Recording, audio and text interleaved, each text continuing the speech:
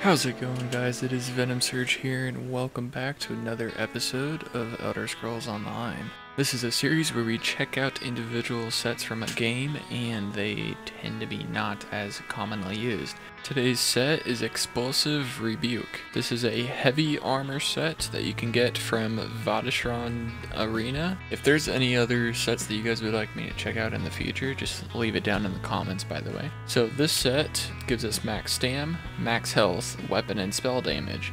Then when you block, you place a bomb on the enemy for 10 seconds when they're hit with a fully charged heavy attack, which I don't believe it has to be yours. It doesn't say yours, it just says when they're hit by it. They deal 7k damage, flame damage to all enemies, and apply the burning effect. This can occur every 8 seconds and scales off of our resistances. Since it's based off of the resistance, I figured let's make this a tank build, especially since it's already heavy. So I have paired this with Plague Doctor, which it just gives us max health 4 days. This is dropped in Deshaan, you can get it overworld, just farm up the public dungeon and a couple world bosses, or you can just buy it off of the traders.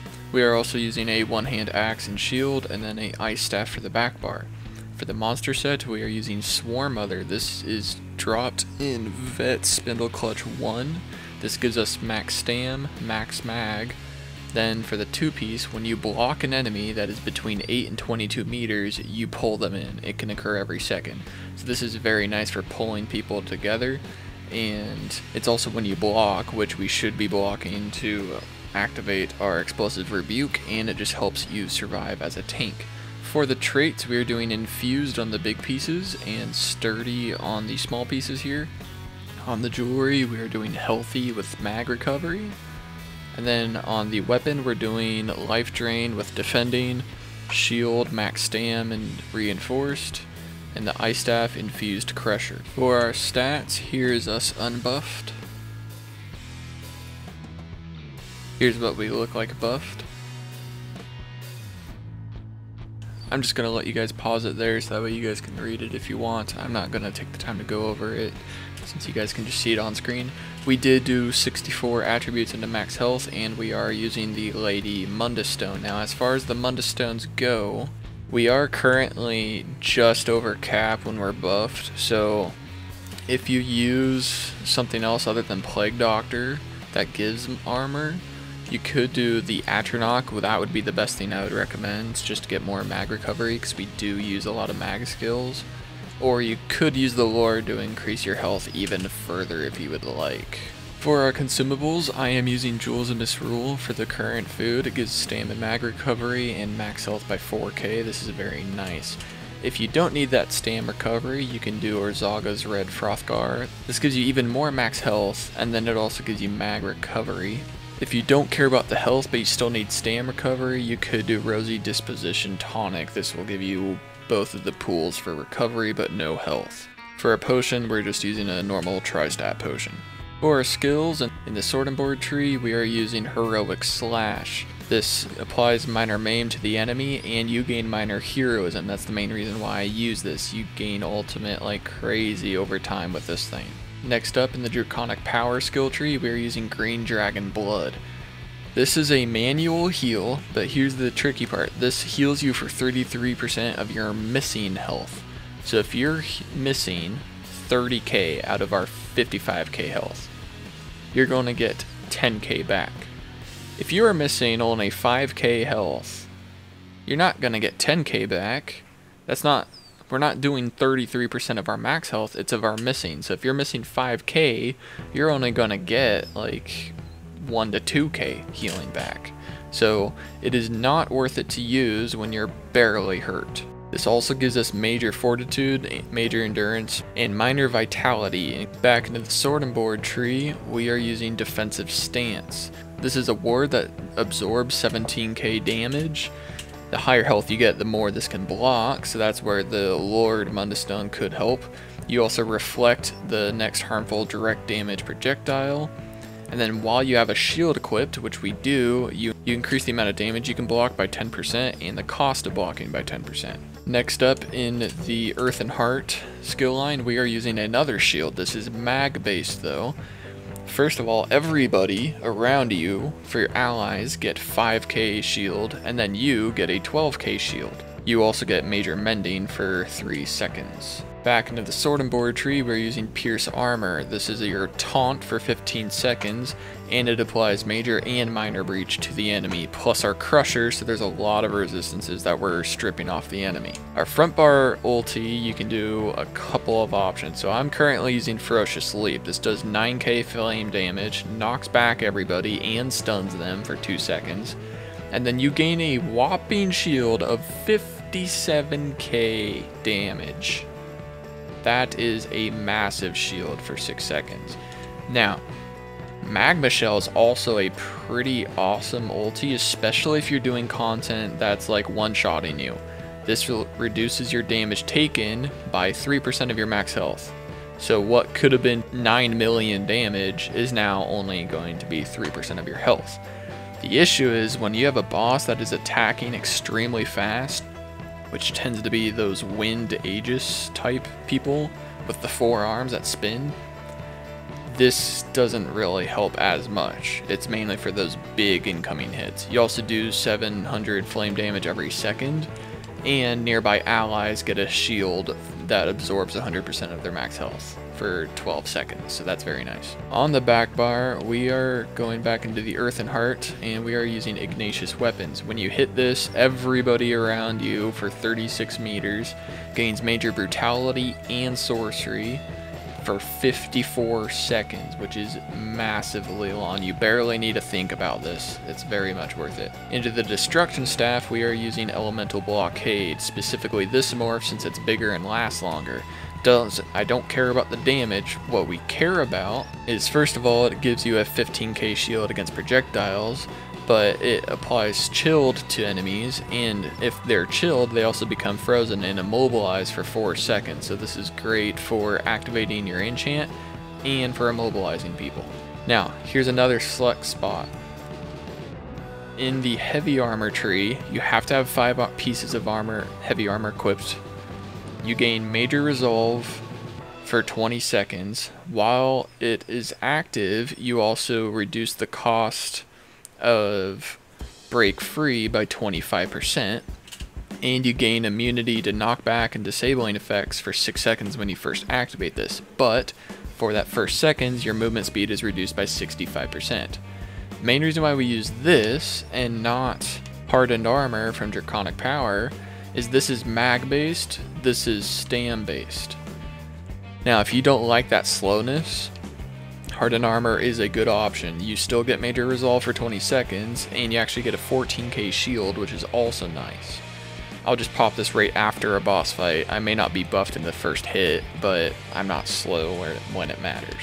Down into the Undaunted skill line, we are using Inner Beast. This is a long range taunt and while we don't do much damage, the enemy will take 10% more damage from you, and then allies can do a synergy to do more damage to the enemies. Up into the Fighters Guild, we are using Silver Leash just to help pull into more enemies. Now because we are using Swarm Mother, what that already pulls people in, you could get rid of Silver Leash and instead slot in something that will immobilize people, so like Choking Talons that would be a better option. However, sometimes the swarm mother may not grab people that I want it to. So I like using this to ensure the main priority targets are being pulled in first.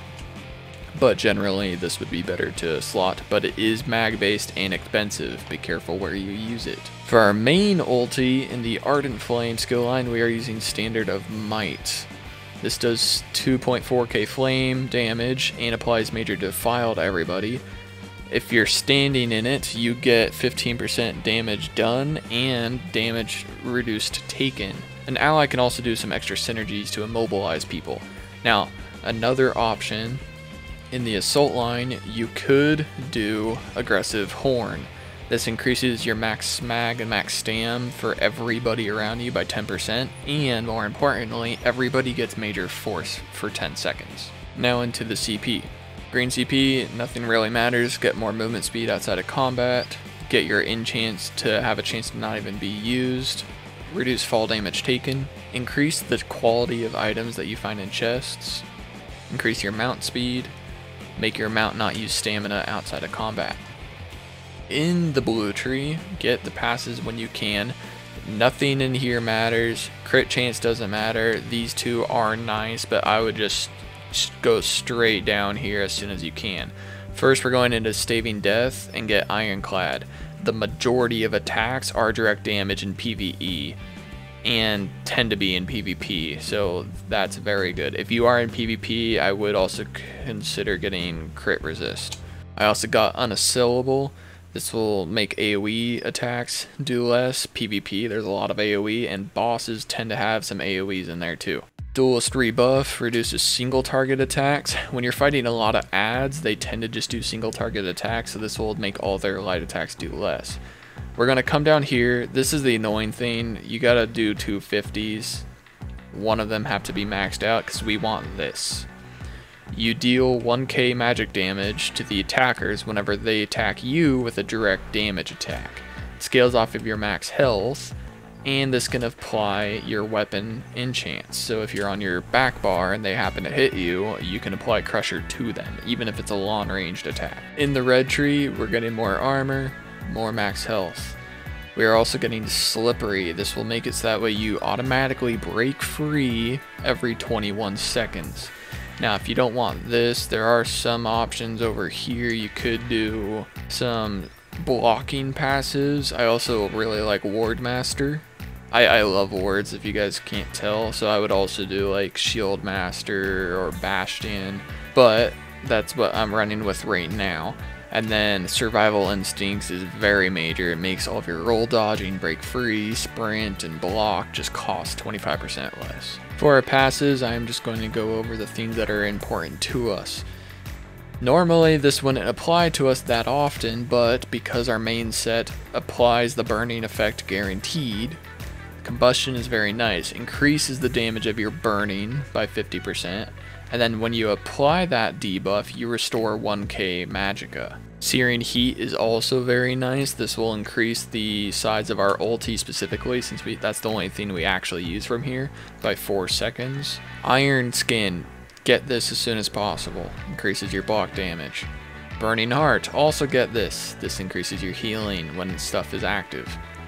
Elder Dragon's also nice. When we're on our front bar, you get 10% heal health recovery, and then all of your melee stuff is longer reach by 2 meters. Scaled armor, also very nice, gives us more resistance. Get Eternal Mountain, this increases your duration by 20%. That's how this thing can last for frickin' 54 seconds.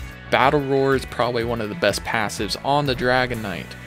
This is the first passive as soon as you possibly can get. When you do an ulti, you restore basically 50 resources per point of the ulti. Our main ulti does 235 ultimate. You guys should be able to see my calculator, but in case you can't, that's 11,750 resources that you restore when you hit your ulti. Mountain's Blessing is also pretty major. When you cast an Earthen Heart ability, you and your group gain minor brutality and you can generate 3 ultimate.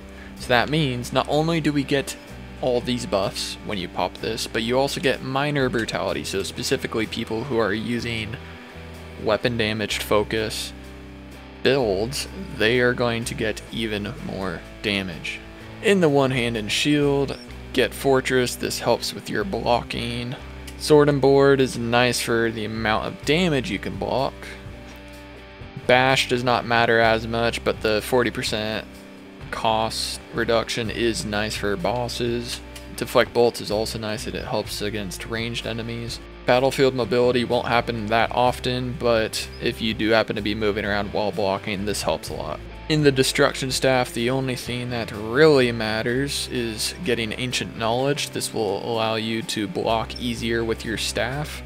And then Tri-Focus, which will make your Ice Staff cost Magicka when you block instead of Stam. So if you are on your front bar and you're running out of Stam, because here's the thing, when you are blocking, recovery is disabled. Look at my Stam, it's not going up if you're staying like this for long enough and you don't get stand back, first of all, you can use potions, that does help. Then you could swap to your back bar and use mag to block. So that's going to help out a lot. In our heavy armor, get everything.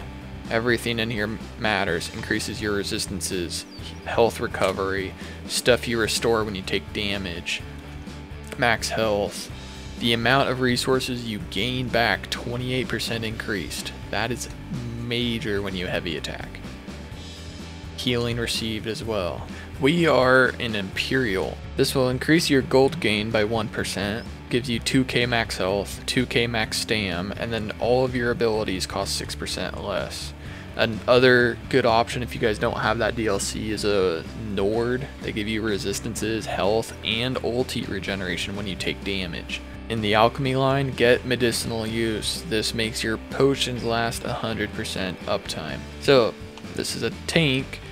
Most of our stuff, however, is actually very long duration, so we keep up our buffs. These three buffs here are the main ones that you need to focus on keeping up. They will help you survive, but they're all like, this one's 20 seconds, this one's 24 seconds, this is freaking 54 seconds. Easy to keep up. Wall of Elements reduces people's damage. Keep that up. Your poke is your taunt and tons of resistance debuff. Keep that up. Your low slash gives you tons of ulti regen. It reduces the cost of their damage done. So that's also something you want to keep up. Now as far as wards, I mainly spam my, my stam one. Occasionally if I need to do a big heal, if you get low health, sometimes it's more worth it to hit Obsidian Shield first. You get 12k absorption for a shield, so you'll be protected for a while, but more importantly, it gives you that major mending, so you can then hit green blood and heal for a lot more. Use your range taunt if you need to pull, like if you need to aggro people that can't be pulled, but otherwise pull them. Or have your set pull them. Swarm Mother should be throwing in everybody to, towards you, and then our Wall of Elements should be immobilizing everybody that's near you. For the majority of the time, use your Dragon Knight ulti, but if you're in a pickle and you're starting to die, you got a 57k shield here on this front ulti, so use it when you need it. Now, this is not a damage dealer, so we're not going to do our normal damage test, but I do need an enemy to attack me, and this little doucher is not going to do that. So, we are going to visit our little friend in Daggerfall. So guys, I've taken some damage. Obsidian Shield, Green Blood, 15k, 7k, 2k. And my magic is gone. That's why Green Blood's not too great. Now, I'm going to keep up my buffs, including this thing. I don't do damage, I don't need it. But I'm acting as if I'm in a group. So, we are going to aggro the boss keep our buffs up. Let's keep the debuffs on him. Okay, so I just heavy attacked. You see that little orange glow on him? That's our main set. So if I heavy attack, that big explosion, that's our main set. And that can actually do some good amount of damage, especially when he's fully debuffed. So it's already on him again. So I'm going to heavy attack here. It's hard to see the numbers, we'll do it on the next try. But keep your buffs up. Use your potions when you need to. I'm not even blocking on this dude, but in main content, you should be. So let's hope he attacks me here soon. There we go, let's see. 8k, and I didn't even have the crusher on him. Now, I mean, we are a tank. That's not that's not impressive for normal DPS but unless you're a weird bash build tank, that's pretty good for what we can do. Yeah, 8.5k there when, and that was not even a crit. But here's the thing, that's actually an AoE that's a pretty decent size, and you can get this to proc quite often. So, we can even do this I didn't even have the major breach on him. So there, there's a lot of flexibility with this build. We can pull in enemies if we want. 9k, 9.7k there with our little increased damage since we're in our ulti there. Depending on what content you guys are doing, you might swap out some different skills. You may not even want two wards. Some people, a lot of people don't actually like using wards. I love them. My main Dragon Knight tank actually uses three. So I get a little excessive with my wards because I prefer to use them than blocking. If this was to be filled with tons of ads, we could be pulling in tons of people with Swarm Mother, and then as we're blocking, one of them's going to get the bomb, and then very quickly we can just heavy attack and then do a giant 10k hit to everybody as a tank. We're at 55k max health and at max resists. We're not losing a lot by doing this. Whereas the bash build that I had done uh, a couple episodes ago, I had to sacrifice some of our resist and max health so I could do damage. This is all focused on just being a tank. It's taking me a while to kill this dude, but we're actually getting somewhere since some of our hits are doing 10k. And now for the outfit. I had to put us on this little raised thing because the grass was actually getting in the way. So for our helmet, we are using the Heavy Ancient Daedric Helm. For the breastplate, we are using the Heavy Annihilarch's Chosen Cuirass. For the shoulders, we are using the Heavy Crimson Oath. For the hands, we are using the Heavy Meridian Gauntlets. For the waist, we are using the medium Night Hollow belt. For the legs, we are using heavy Scalecaller Greaves. For the feet, we are using heavy Greymoor. For the axe, we are using Stormlord. For the shield, we are using Assassin's League Shield. And for the staff, we are using Greymoor. For the main black that we use across the whole body, we are using Cold Harbor Ash Black. For the dark black on the shield, we are using Void Pitch. And then for the red on the handprint, we are using Scintillating Scarlet. You guys can look at the color slots I used.